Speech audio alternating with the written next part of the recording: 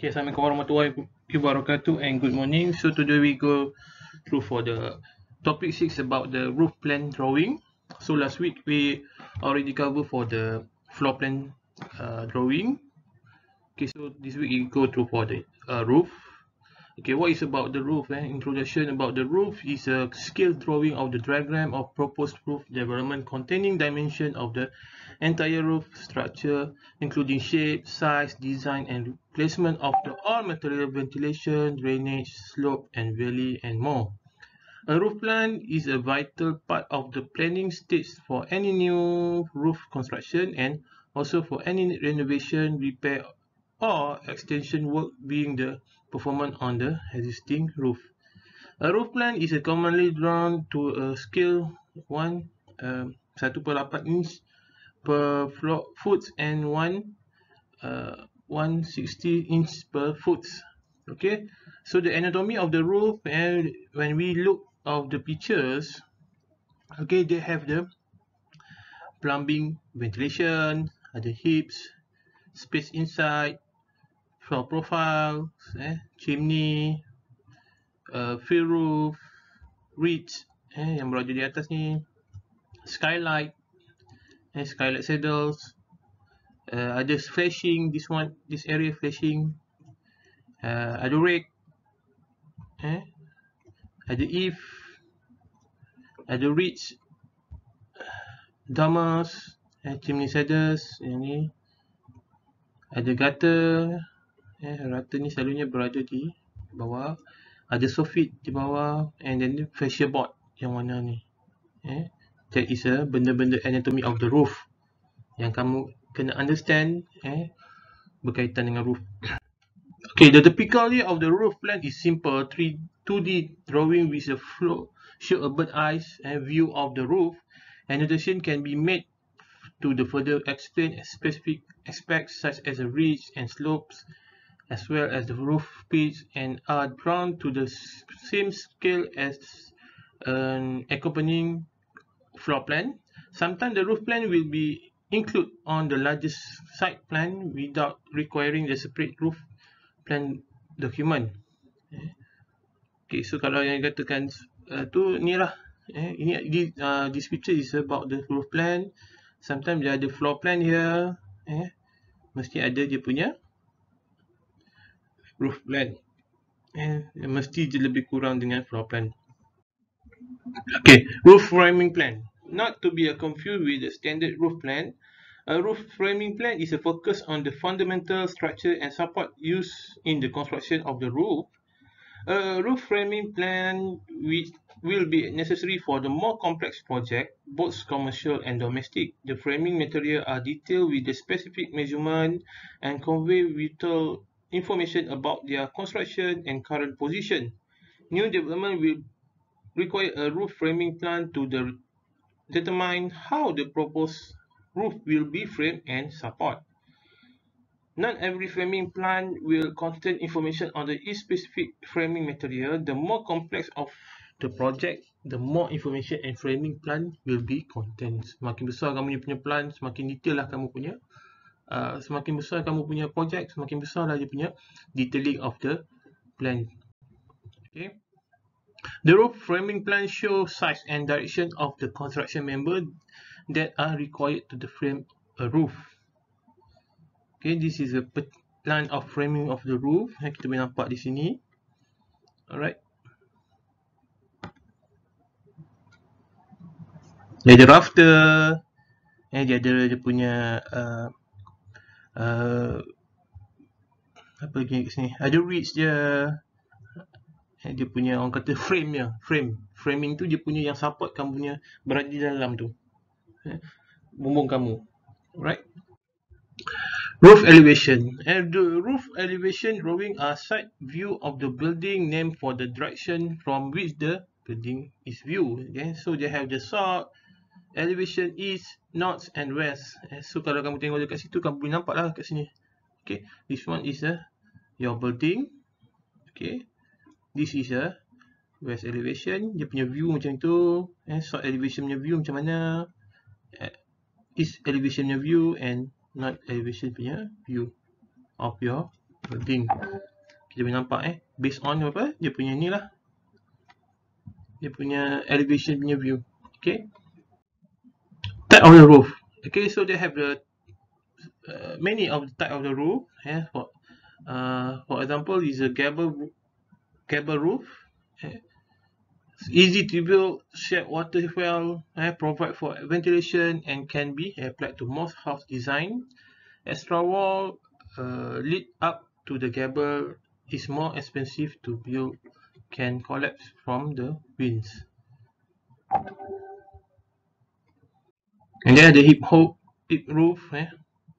uh, aesthetic pleasing could be cheaper than the gable roof because there is a less exterior wall and more roof material, more wind resistant, eh? slightly more difficult to build then a gable roof does not provide as well for ventilation. Ini standardnya bumbung yang ada kat Malaysia.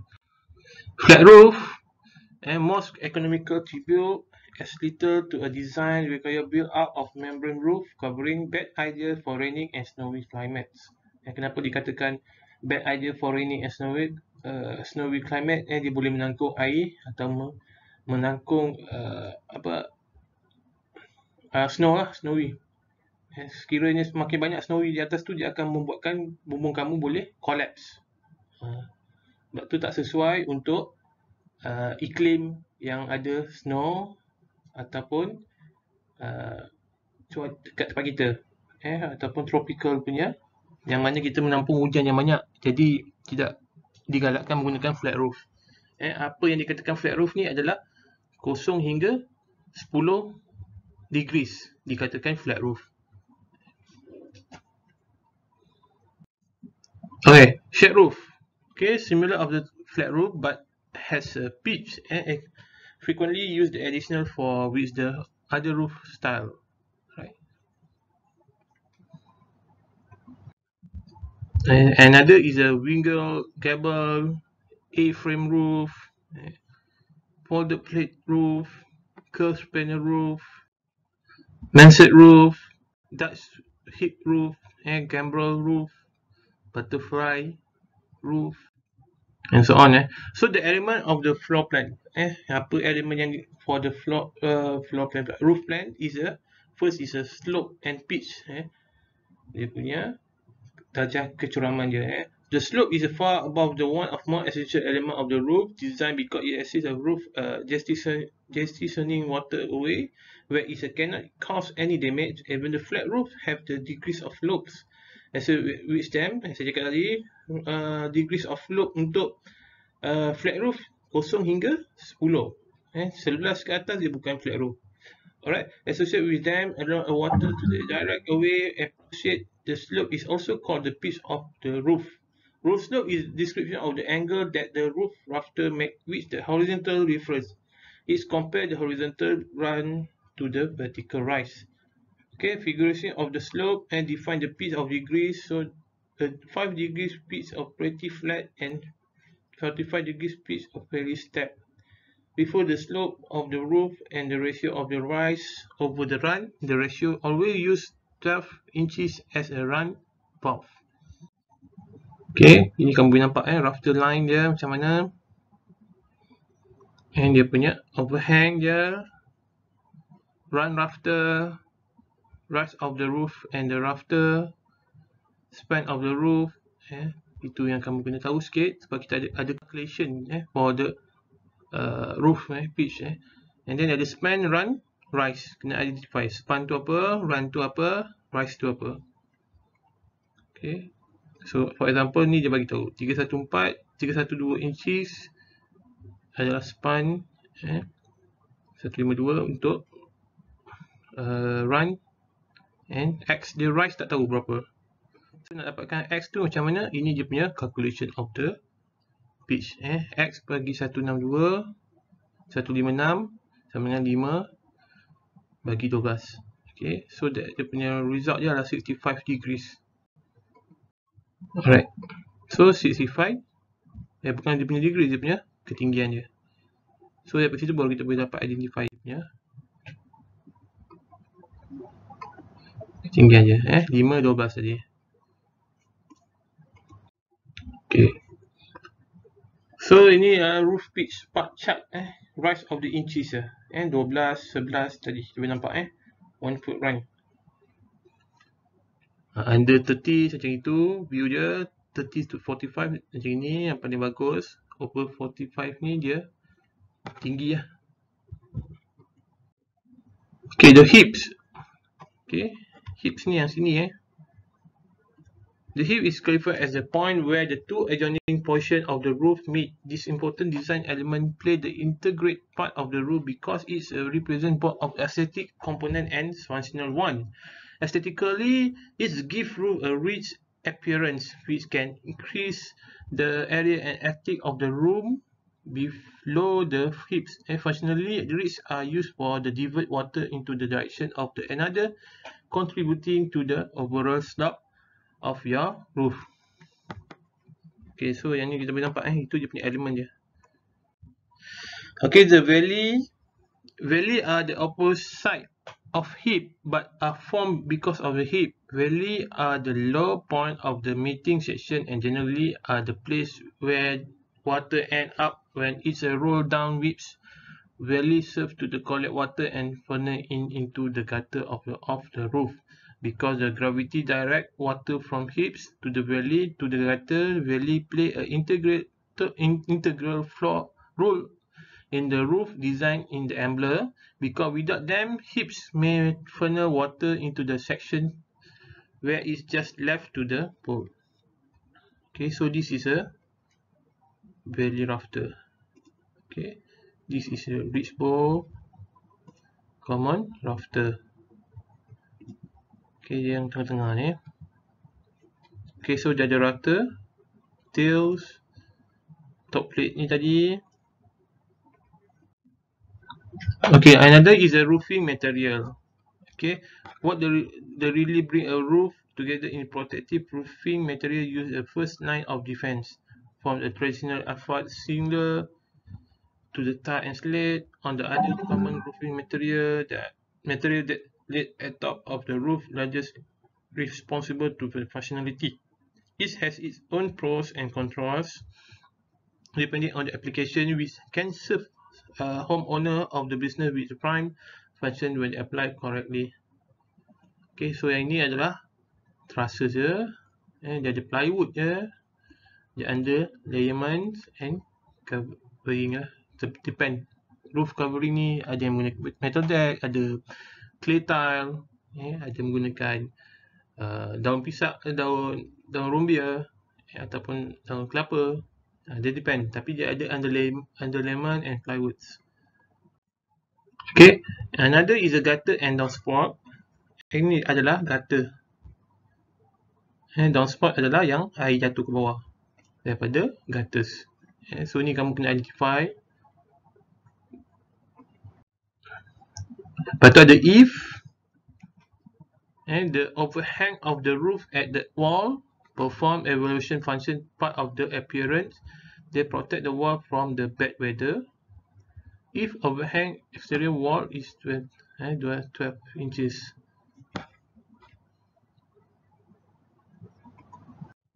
Line The roof line is rigorous hip line, valley line, gable, and east overhang line at the end of the building section and at the junction. Provide the information regarding the uh, required shape of the roof. The hatching run along its roof plan. Okay, so line dia. Okay. Line dia.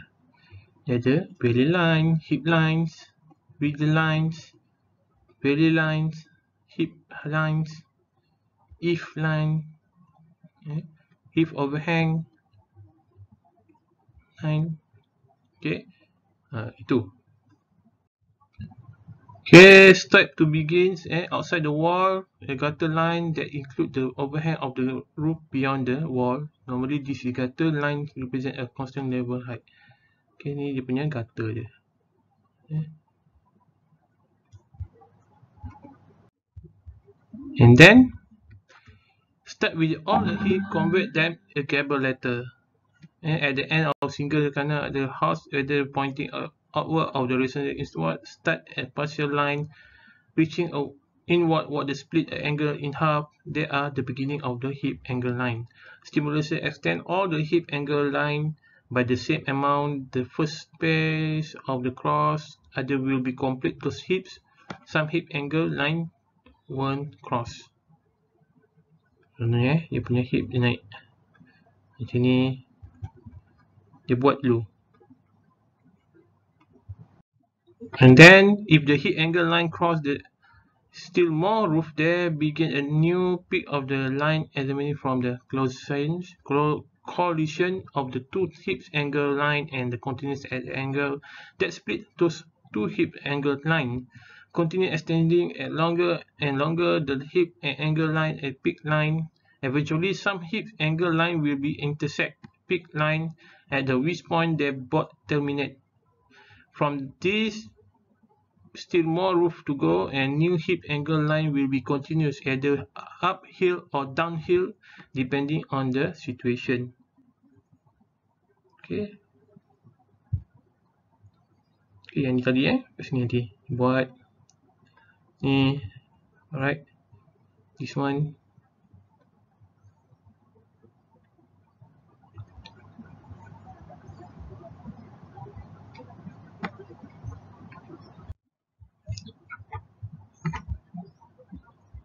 Okay, now the of the wall above with the one and agreeable greater than its hips.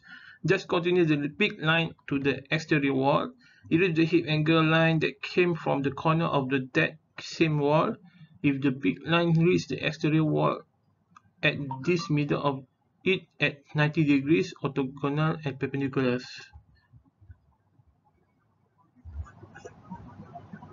Okay, sampai sini boleh nampak eh. Sini.